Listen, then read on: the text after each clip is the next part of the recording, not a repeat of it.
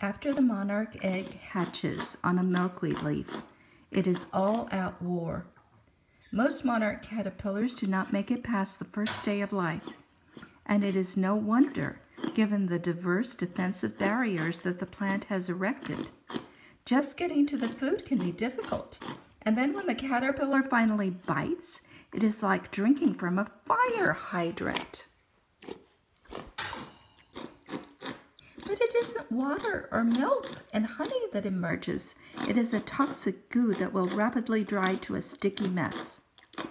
Despite these setbacks to the caterpillar, the plant has not won the coevolutionary arms race. Monarchs fight forward with offensive behaviors